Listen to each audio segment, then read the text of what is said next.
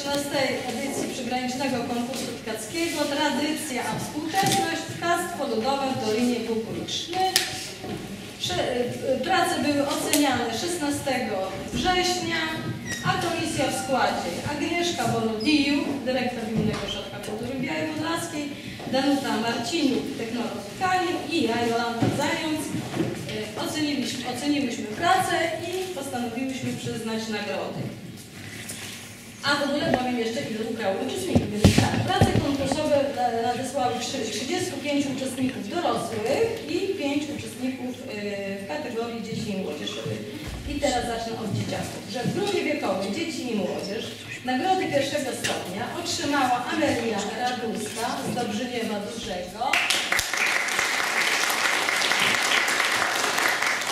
Więc nagrodę drugiego stopnia otrzymała Weronika Waszkiewicz z Chruda, a nagrodę trzeciego stopnia otrzymała Julia Rogacka też z Chruda. E, Wyróżnienia otrzymały też dwie uczennice z Chruda, Anna Jówko i Weronika Popiołowska.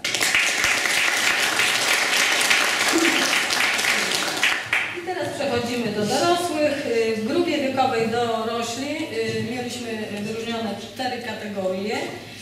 Były to perebory, pierwsza kategoria perebory, druga kategoria gobeliny, gobeliny i trzecia tkaniny wielonicielnicowe i czwarta dowolna technika tkacka. Y, I w pierwszej kategorii, w kategorii perebory, y, nagrodę pierwszego stopnia otrzymała Magdalena Papaku z miejscowości Mordy.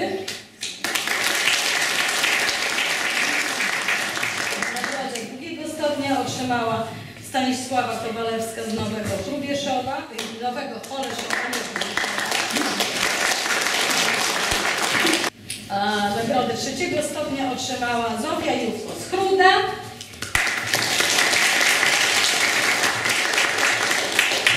I wyróżnienie Jakub Pietruczuk z Parkowic.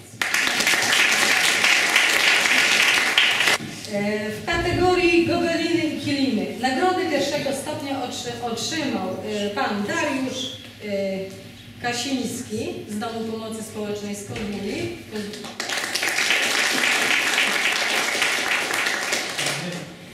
Nagrodę drugiego stopnia otrzymała e, pani Jadwiga Domańska z miejscowości Sarniak. Trzeciego stopnia y, otrzym, nagrodę otrzymała y, pani Justyna Misiej, też z Domu Pomocy Społecznej w Kozłówku. Wyróżnienie y, postanowiono przyznać y, pracy zbiorowej y, z Domu Pomocy Społecznej właśnie w Kozłówku. W kategorii tkaniny wielo- wielolicielnicowe mm, pierwszą y, nagrodę otrzymała pani Katarzyna y, Daniewicz z Czarnej Wsi Kościelnej.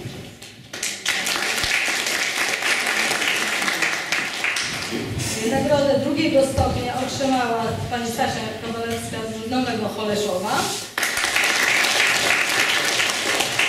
Oraz też nagrodę drugiego stopnia otrzymała pani Małgorzata Pepułowska z Równej. I nagrodę trzeciego stopnia y, przyznano pani Irenie Skorupskiej z miejscowości Kamianki Czabajki. Wyróżnienie przyznano pani Anecie Pisiak z Ambramowa. I w czwartej kategorii technika tkacka. Nagrodę pierwszego stopnia otrzymała pani Marta Barbara Bajko z Białego Stoku. Nagrodę drugiego stopnia otrzymała pani Agnieszka Kryniewska z miejscowości Mokre. Trzeciego stopnia y, pani Katarzyna Romaniuk z Białej Podlaskiej. A wyróżnienia w tej kategorii otrzymali pan Łukasz Zając z Warszawy oraz warsztat tkacki Stara Szopa ze Zbuczyna. Gratuluję wszystkim zwycięzcom i tym, którzy wzięli udział. Zapraszamy do udziału przyszłym roku. Mamy nadzieję, że będzie nas jeszcze więcej i oczywiście do obejrzenia tych cudownych. Były cztery kategorie w konkursie, Tak. przypomnijmy jakie.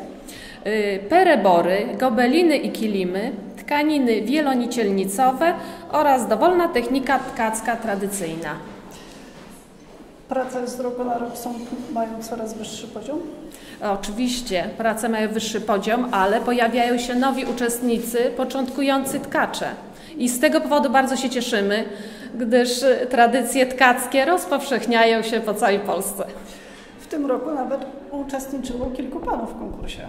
Tak, mamy tutaj y, Jakuba Pietruczuka, który uczył się w naszej pracowni tkania peryborów nadburzańskich i w tym roku zaprezentował swoją pracę. Dostał wyróżnienie, także gratulujemy i cieszymy się, że, y, że nadal właśnie nie, nie gaśnie y, chęci, nie gasną odnośnie tkania. Młodzież, dziewczęta również tkają. Tak, mamy tutaj y, grupę tkacką dzieci z Chruda, które przychodzą na zajęcia cotygodniowe i bardzo się cieszymy, że y, przychodzą z roku na rok i swoje umiejętności rozwijają. W tym roku były perebory, także to już wymaga naprawdę techniki tkania. A co to są te perebory? Perebory to jest taki ornament tkacki, który wybiera się za pomocą deseczki. W barwny wątek wprowadza się w gładką osnowę. Wszystko trzeba liczyć, także wymaga skupienia. Warto przypomnieć, że perebory to także charakterystyczny ludowy wzór tutaj naszego regionu Podlasia. Tak, perebory, czyli nadburzański taki ornament tkacki, który w 2016 roku został wpisany na krajową listę niematerialnego dziedzictwa kulturowego. Zachodzi słońce.